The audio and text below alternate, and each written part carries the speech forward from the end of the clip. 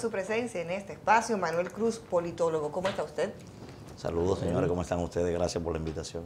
Pregunta obligada. Lectura. Aprovechando también, Ay, ¿verdad? ¿verdad? Para la bienvenida. Sí, que hemos conversado tanto. Eh, contento, saludos, ¿cómo saludos, entró él? doctora Mildred Elizabeth Charlotte Beltré. Buenas tardes a Julio Ernesto, buenas tardes, amables telespectadores de toda la República Dominicana.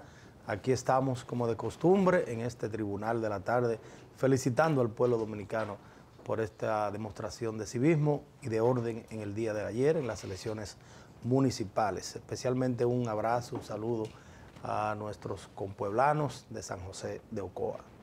Bueno, en materia entrando de una vez, aprovechando era la presencia de Guido Manuel para que nos dé su, su visión, su, qué opina sobre este proceso electoral y si en función del resultado, eh, pues tú esperabas esos números o esperabas otra cosa.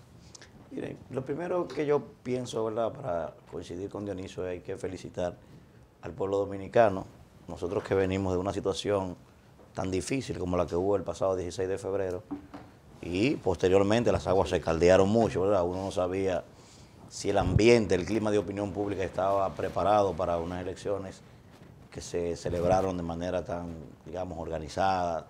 Eh, hasta ahora no se ha impugnado ni siquiera un solo colegio electoral, o sea que parece ser que hubo niveles de transparencia. Además de eso, sobre todo el civismo que la población presentó, yo pienso que eso hay que felicitarlo y reconocerlo perfectamente. Debo decirte, en el tema de los resultados, hay muchas cosas que a mí no me... doña Consuelo que ella esperaba esos resultados, pero a la inversa. Se dio a la inversa. No, de acuerdo a si era Doña Consuelo. Mire, No, Hay que- el yo, examen. yo pienso que hay que, que dividirlo en dos para uno poder ser objetivo. Primero, es probable, es probable. Yo no, nunca pensé quizás un 60%. Ahora yo sí estaba convencido de que antes del 16 de febrero el PLD podía conquistar el 55% de, de las posiciones antes del 16. Ahora, todo el mundo sabe que quien más salió afectado, inclusive yo lo escribí, dije que el PLD perdió la guerra de la percepción a partir del 16. La oposición jugó un papel desde el punto de vista de la estrategia política brillante con esas manifestaciones. Y eso evidentemente motivó a que una gran parte de la población, el llamado voto silente, ¿verdad? Y el también voto de cola, pues se movilizara. Ayer, todo el que estuvo en la calle ayer haciendo un trabajo político, pues vio a mucha gente que regularmente no participa en los procesos electorales, y, y hablo de la clase media, ¿verdad? Y sobre todo esa clase media, todo el mundo sabe que está totalmente opuesta al PLD. Entonces, para mí ahora, aunque hay algunas sorpresas, sí, de verdad que hay algunas, muy mínimas, pero yo esperaba, por ejemplo, lo que pasó con el PRD, es una cosa que era evidente, ¿verdad? De hecho, pienso que el PLD cometió un gran error en hacer esa alianza de volverle a entregar todas esas alcaldías al PRD, porque yo lo decía, bueno, por ejemplo, yo entrevistaba a un candidato del PRM la semana pasada y les decía, mira, yo sé que ustedes no son aguacateros, pero ¿qué puede motivar a un PLDista a apoyar a los alcaldes del PRD si históricamente las veces que han ido aliados los PRDistas no cumplen con los acuerdos del PRD? Entonces, esa gente evidentemente le da una cosa como otra que gane quien gane ahí. Entonces, para ganar esas alcaldías del PRD, un PRD totalmente debilitado, como salió a relucir ahora, necesitaban evidentemente que el PLD le apoyara para poder mantener esas 30 alcaldías. Manuel, eh, pasadas las elecciones en el día de ayer, muy tempranas horas de la mañana, incluso desde anoche mismo, hemos visto a voces muy preponderantes del PLD, incluso al propio candidato presidencial, eh, Gonzalo Castillo, que hace unos momentos pues ofreció un mensaje a la población en un discurso de, donde estaban los miembros de su equipo y parte de la dirección del Partido de la Liberación Dominicana, tratando de, de buscar un bajadero cómodo para la posición en la que ellos han quedado con los resultados de ayer. En una de esas es que 43 el PRM y 40 ellos, o sea que fue prácticamente un empate. Esto en términos eh, políticos, esto es correcto, manejar los resultados de estas elecciones en el día de ayer de esa forma para un PLD que la gente pensaba y que ellos mismos daban la percepción de que iban a ganar con un 70% las elecciones. Bueno, si veíamos una- unas declaraciones del propio ministro de la presidencia la semana pasada, él decía que ganaban en el 70% de los municipios.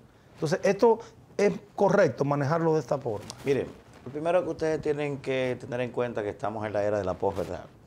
Estas elecciones, y así se ha visto todo el proceso, quien maneje mejor la comunicación y sobre todo haga un ejercicio de posverdad más efectivo, yo pienso que va a ganar las elecciones. Entonces, desde el punto de vista estratégico, pienso que fue un desastre lo que ver eso, porque, miren, Estados Unidos en su vida entera, en toda la historia, ha reconocido una sola derrota, y la reconoció el presidente Kennedy. El presidente Kennedy dijo, las victorias tienen muchos padres, pero las derrotas son huérfanas. Y yo, yo reconozco, dice él, que lo que pasó en Valle de Cochino Cochino. es mi culpa. Esas derrotas no se reconocen, señores. ¿Cómo tú vas a poner al candidato presidencial a felicitar a la, a la oposición y a reconocer, ¿verdad?, de manera implícita que el partido perdió? Es lo primero. Primero el escenario era para el presidente del partido, si se iba a hacer, que no iba a hacerse. Y yo pienso que el PLD tiene que ser muy inteligente ahora. En la medida en que el PLD pueda jugar con el resultado de ahora, de manera asertiva, eso le puede propiciar mantenerse en la carrera. Porque la percepción que hay generalizada es que ayer salió del escenario. Aún no sea así. Porque en términos cualitativos, evidentemente que sí, el PRM le dio, digamos que un- una puntillada muy fuerte al PLD. Ahora, en términos cuantitativos, cuando tú mides los dos, como ellos lo están reflejando, evidentemente que hay un escenario todavía marcado de posibilidad de que el PLD pueda alcanzar la presidencia o pueda mantenerse en el poder.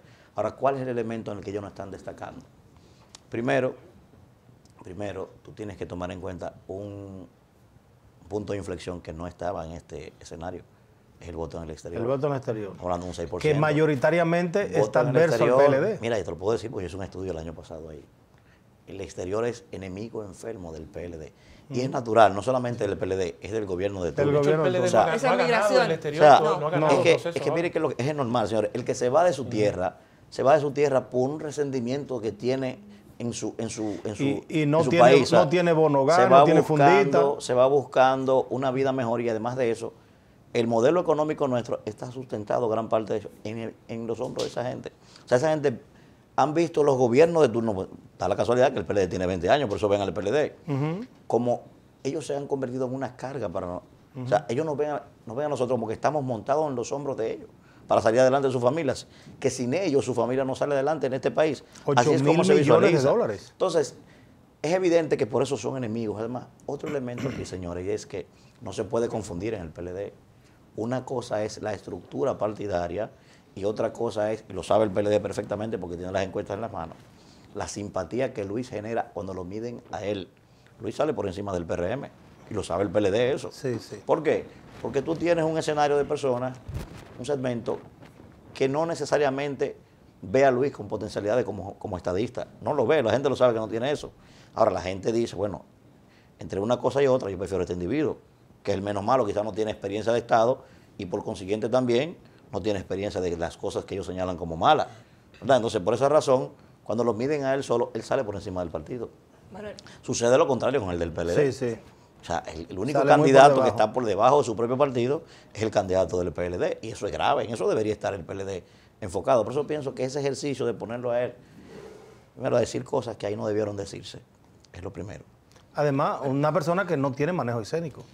La retórica, es muy- hay una debilidad muy fuerte en el tema de la retórica. Eso es fundamental para la política. Aquí está, aquí, él, eh, aquí eh, no, no parece una persona preparada para, para no, asumir esa yo- Más que responsabilidad. preparada, yo lo que lo percibo es que no disfruta lo que está haciendo. Así es. Más que Así preparado es que él no disfruta lo que él está comunicando. O sea, él se- en su lenguaje corporal. Pero es que no levanta- puede, Mildred, no, puede no, disfrutarlo. No, no, no. Porque fíjate que no sabe, Es que no, no- no sabe leer. no, no.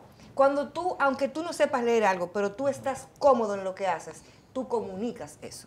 Es un tema de que él no está alineado en términos de, in- de integrado, o sea, que no, está, no se no es coherente, porque su emocionalidad, su verbalidad y corporalidad están en choque. Eso es lo que pasa cuando Gonzalo está hablando. No se siente cómodo en lo que va haciendo. Manuel, porque el tiempo es bre- breve, hablemos de la clase media PLD. Bueno, yo pienso que... El- bueno, mira, tú el- hablaste. El, el reto más importante, yo, yo escribí hace un tiempo un artículo que llama Los tres desafíos del PLD y pienso que la juventud y la clase media son graves para el PLD, porque es que la clase media, señores, miren, la clase media por, na- por naturaleza está en contra de los gobiernos de turno, sobre todo cuando se cuando pasan tanto tiempo en el, en el poder. ¿Por qué?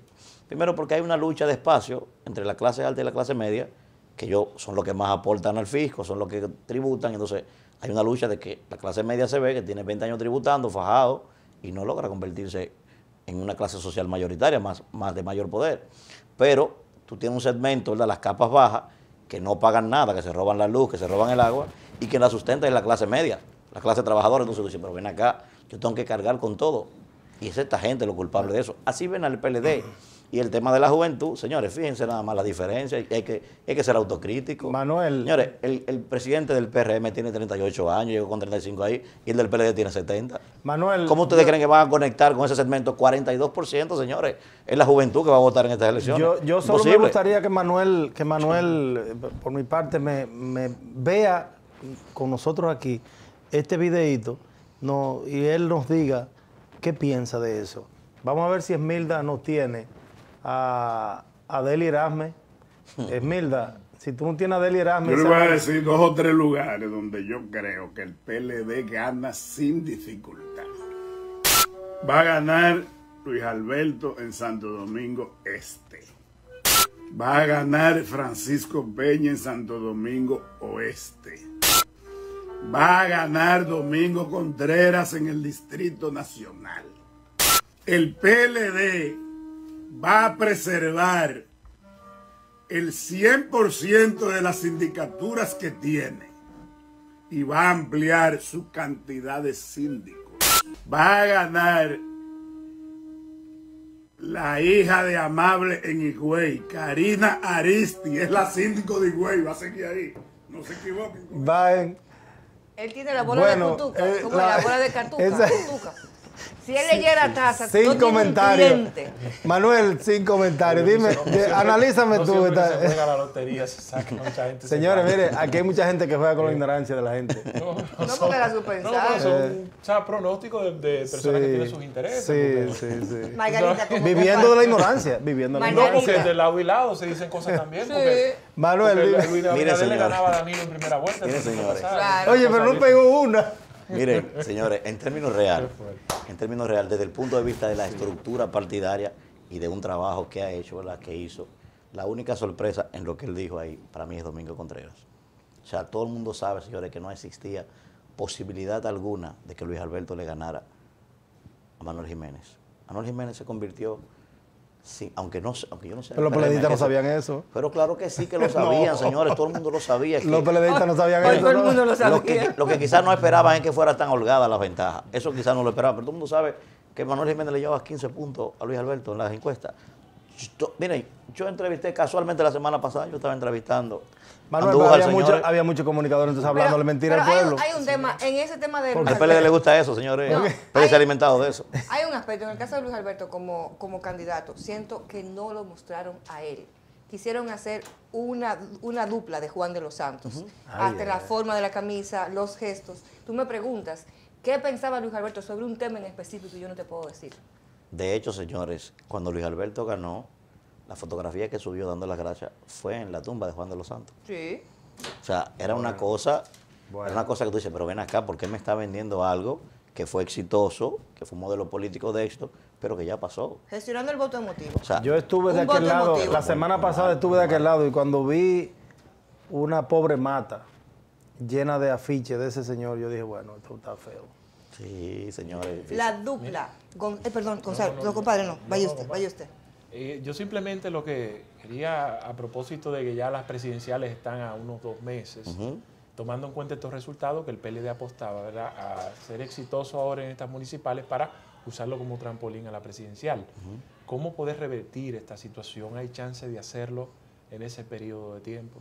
Hay un amigo de ustedes que dice, atención cachicha, ustedes lo conocen.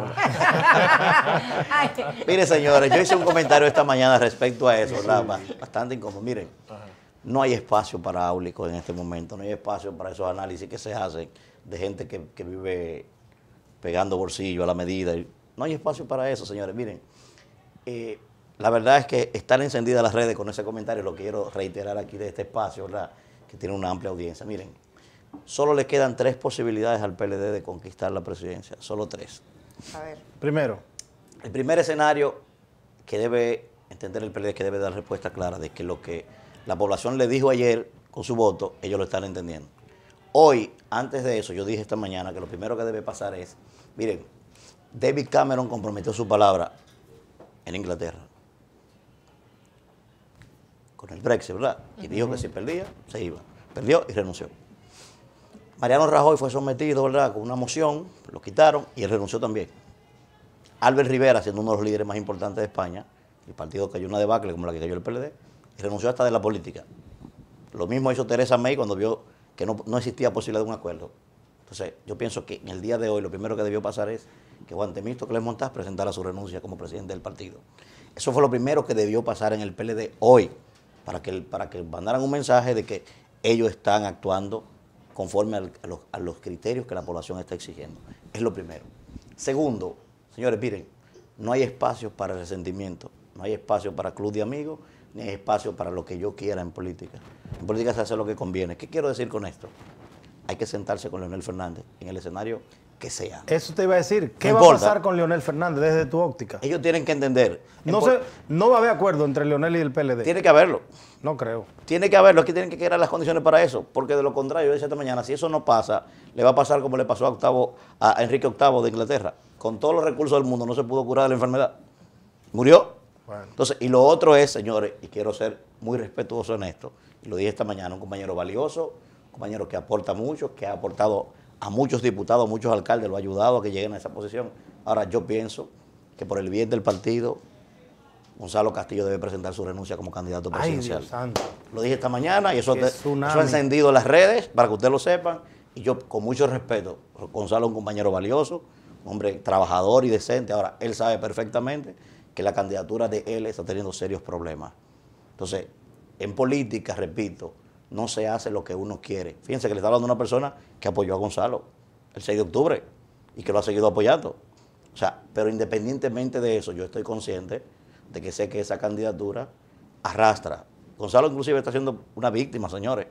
O sea, cualquier candidato que estuviera corriendo en este momento por el PLD, aún fuera Leonel, aún fuera Danilo, la llevaba difícil, señores, con la situación que está viviendo el PLD. Sí. Vamos a estar claros. O sea, hay un tema de cansancios naturales, 20 años que tiene el PLD en el poder, con muchas reivindicaciones sociales que el pueblo ha estado exigiendo, que no se le ha dado cumplimiento todavía. Y eso hay que entenderlo. O sea, no es que Gonzalo es malo, como mucha gente lo quiere poner. Es que simplemente el momentum político es el que decide. El hombre es él y sus circunstancias, así mismo es la política. Entonces yo he dicho, Gonzalo debe presentar su renuncia como candidato. Y el mundo, y todo el mundo sabe que hay otros candidatos. De seguir, de seguir simpatía. Gonzalo pudiese, pudiese Leonel con mayor, con mayor Y- y- simpatía y que él. tomando en cuenta Claro también sí. el, el tema ya que se inscribió ante la Junta. Claro, es decir, por eso digo, él debe renunciar legal. él. Porque ya, Ya, no, si no, si ya- no renuncia, no lo pueden ¿Qué es lo que debe hacer? Si no renuncia, no lo pueden No sustituir. lo pueden sustituir. Entonces, ya sería sentarse con la Junta a ver de qué forma tú lo sustituyes, que te habiliten un espacio para eso. Ahora, No, no, si lo- él renuncia, el PLD lo puede sustituir. Claro, sin ningún problema, Eh, ¿entiendes? o el Ahora, organismo lo que tiene que No hacer lo es pueden su- escogerlo. sustituir sin él renunciar, porque ya lo está No puede. oficialmente. sí. ¿Qué pasaría si él no renuncia? eh, si, de seguir como van las cosas, ¿Leonel Fernández podría remontar la popularidad que tiene Gonzalo? Mira, Gon- La- en la el caso de Leonel, de verdad que Leonel, yo pienso como figura, Leonel es un hombre, señores, yo no apoyo a Leonel Fernández, pero yo no, no puedo ser mezquino, o sea, Leonel Fernández es un hombre que tiene un liderazgo consolidado, señores. Fíjense, yo he dicho, Leonel Fernández tiene un liderazgo que, que resulta, bueno, se puede hacer una tesis de liderazgo de Leonel Fernández, porque tú sabes lo que es una, señores, la gente sigue a otro cuando ve opción de poder. Sí. Tú tienes una persona que tiene ocho años fuera del poder, que ha recibido todos los embates posibles, que no ha recibido, yo creo Peña Gómez solamente, fue tan, fue tan maltratado, y este hombre se le ha hecho de todo, se le vinculó con un narcotraficante. Señores, y la gente que tiene a Leonel al lado de él es capaz de matar a otro por Leonel. Solo un liderazgo consolidado con esa característica puede tener. Yo conozco personas brillantes, señores, al lado de Leonel. Gente brillante, de verdad, que cualquier equipo lo quisiera tener al lado. Y es capaz de cualquier cosa por defender a Leonel. Entonces, un liderazgo como ese, tú no puedes abstraerte de esa realidad. Por eso yo digo, no hay espacio para resentimiento. Yo, yo dije que lo único que salva al PLD es hacer un matrimonio de ricos. Bueno. No hay que amarse, Bre- pero los intereses nos unen. Brevemente, un segundo. Margarita. Margarita, yo pienso. Margarita Cedeño, yo no sé si decide Fernández, pero Margarita Cedeño. Margarita Cedeño. Lío ahora. Yo tampoco diría de Fernández. Margarita Cedeño. Ay, ay, ay. Margarita Cedeño, sin duda, señores, miren, es el liderazgo femenino más importante que hay en el país. Margarita tiene una simpatía increíble. Claro, se ha visto un poco maltratada esa simpatía con, con las decisiones que ella ha estado tomando, hay que decirlo con sinceridad.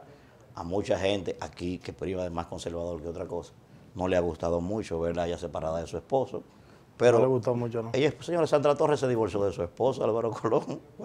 Y dijo, me, Sí, voy a- fue- me- me fue- divorcio de mi esposo para pero- casarme pero con el fue un pueblo. Claro, pero uno no sabe. Eso dicho, le costó a ellos la yo he dicho que mucha gente que critica a Margarita ni siquiera se ha detenido a pensar si es una estrategia de ambos, eso que ellos han diseñado. Nadie sabe eso. Y la gente ha maltratado a esa señora con, con- con- Ya de manera profusa. Menos Sergio. Elena, que le dijo que yo iba a trabajar para que ella vuelva a ser primera dama. Margarita- Margarita, Marga- le dijo, Margarita es un fenómeno. qué amable de su parte. Yo Sí, pienso inclusive, Fue muy fina, yo pienso inclusive que si Margarita se convirtiera en la candidata del PLD oficialmente, el escenario pudiera cambiar de manera importante, de verdad, un cambio importante generaría a Margarita como candidata. Manuel, pues muchas Bueno, gracias. gracias a siempre, ustedes, con señor. Nosotros en este tribunal de la tarde vamos a un contacto Sí. para retornar ya con Ahí está Cristian. finales de este espacio con Cristian Rojas.